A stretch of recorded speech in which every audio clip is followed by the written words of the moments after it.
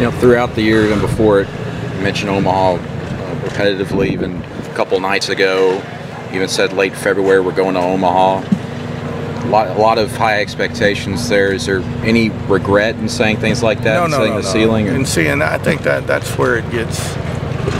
I think that I, I that's hard for me to even understand because, I mean, when you step on the field in a league like this, when you step on the field in a league like the Big 12, you you compete to go to Omaha. If you're competing for anything less, you you have a you have the wrong approach.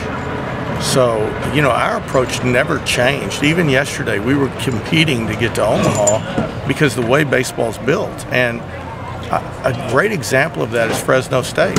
If they don't win their conference tournament, they don't go to the NCAA. If they don't win the first round, they don't go to Arizona State for Super. If they don't win that, they don't go to Omaha.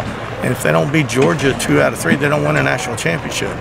You know, they had to, just like us, advance and win up to the last day of the season. And, um, you know, they're, they're no different than we are. They're no different than anyone else. If you're not competing to go, then you're, you're looking at it the wrong way. So I've been asked that before, and uh, it's hard for me to comprehend, to be honest with you, the question because I was hired and brought here to help lead the Auburn Tigers to Omaha, and that started from day one, and it won't change. As long as I'm here, it will not change. That's that's our goal is to get to Omaha. You know, a few weeks ago you said that the the program was either going to change you or you're going to change the program. How do you feel at the end of the season, the direction of the program and things Well- you've been able to do? Well, the foundation in which we feel we've built, it, it, it didn't show up in wins and losses.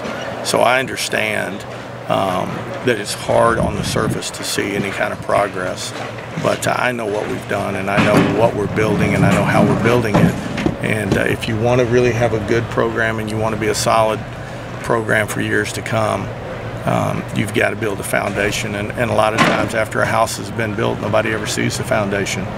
But uh, this one won't have any cracks in it. Um, I talked with Coach Mainieri for a long time. His first year at LSU, very similar. Um, he had a lot of seniors. Um, they didn't make the SEC tournament, and uh, it was one of the toughest years he ever went through. And so, you know, at the end of the game, that's one of the things that he reminded me is, hey, you know, take care of yourself because he knows how tough it can be, especially when you come from a winning program and you've done, you know, what uh, what you've been able to do. But that's why you're hired is because of what you've been able to do and what you're going to do.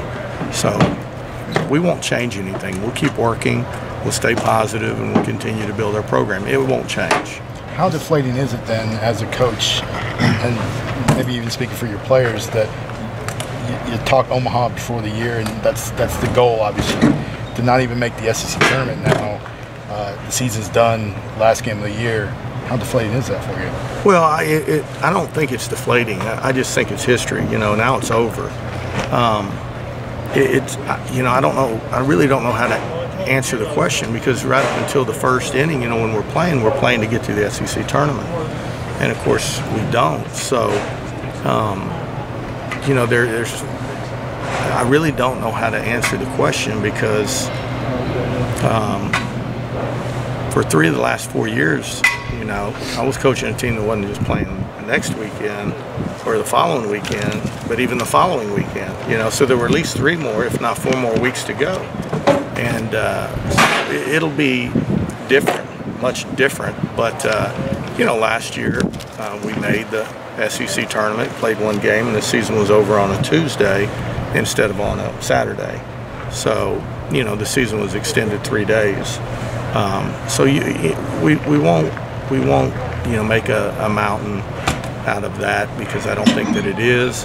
And the other thing is you want to be playing good baseball late in the year, and we weren't. Um, this is that's what disappoints me is you know of all the teams that I've coached, um, gosh, probably in the last 16 years, this this this team that I coach, and, I, and I'm held responsible. I'm not pointing fingers at anybody but myself, but this, without a doubt, is the worst that we've been playing at the end of the year. Uh, we were playing our worst baseball this weekend, and that's that's on me. You know, that's on me. Um, the people that I hire to help me, I make those decisions. Um, you know, I make the decisions of how we train. I make the decisions in the lineup. I make the decisions in what we do. So it starts with me. Um, and I'm not going to be too hard on myself. It's my first year. Um, we'll evaluate it. We'll make the changes we feel that we need to make, and we'll move forward. And we'll use this year as a as a valuable uh, learning tool. Um, you, can look all around the league. You know, I've talked to everybody. I've talked to Sully in Florida. I've talked to Coach Mainieri. I mean, Dave Serrano, believe it or not, you know, for two years, only winning eight games in the league and now finally qualifying for the SEC tournament. Um, Dave's a good man, a good baseball man, and he had tremendous success at Fullerton. So, you know, he's got to be extremely excited right now, but not be satisfied just going to the tournament.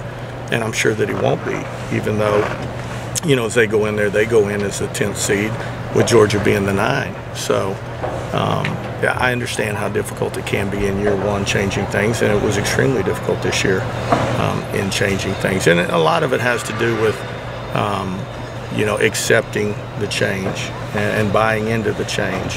And I'm not saying that we didn't completely, but uh, a lot of things that happened, you know, when Bergman throws the ball down the line, and it's behind the tarp almost. And, and you know, I'm bringing the guy to third, and I look, and we don't have a runner at second. I, am still left scratching my head at times, and that was a key moment in the ball game still. So there's so many things that we still need to continue to fix, and it's going to take a lot more than me to fix it. You know, I've got to make sure we have the right people helping me fix it.